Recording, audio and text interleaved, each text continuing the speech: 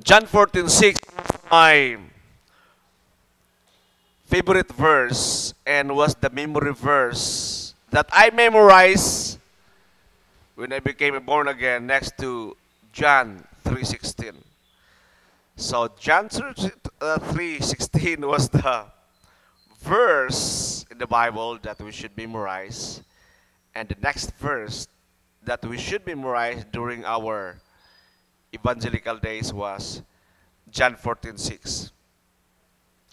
And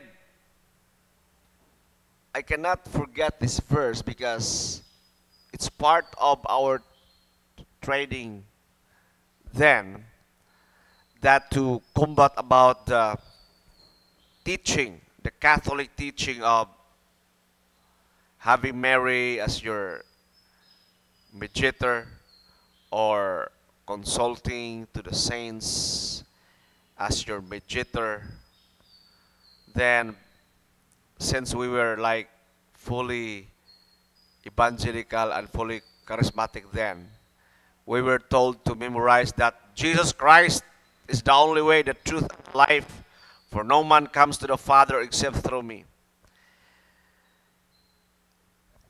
But, katawanan kay when we embrace the fully sacramental and fully liturgical way of worship, we found out that Mary and the saints were not actually the mediator, but just or mere intercessor and uh, kaning prayer, no? Our prayer warrior in heaven and just our intercessor, but not the mediator because there is only one mediator between God and man, and that must be Jesus Christ alone. Yes, uh, we have the Mother Mary.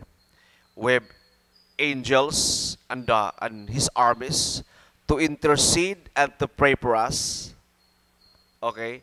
We have saints, we have and we have the church fathers or early fathers who are praying and interceding for us. They are there to intercede for us. But then again, there's only one med- mediator for our salvation between God and man, and that is only Jesus Christ. Because Jesus Christ is the only way, is the only truth, and the only life, and no one goes to the Father except through Him. Mura siya og tulay nga walay gahub nga tulay nga makaagto sa amahan. Wala po'y mangiskis bridge kundili Jesus Christ alone. So, daghan man mga bridges o daghan mga ways.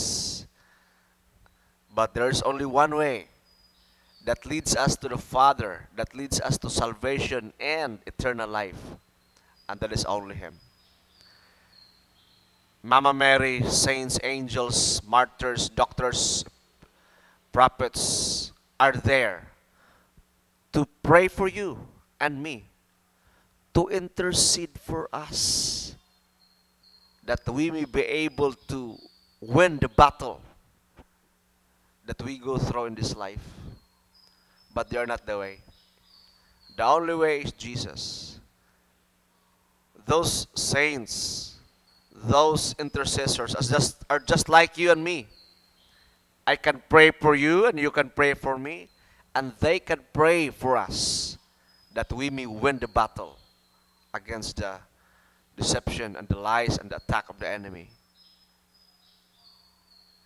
So, ato nang hinumduman, and let us not be confused with that teaching. Because Jesus is the only Word who became flesh. That is Jesus Christ.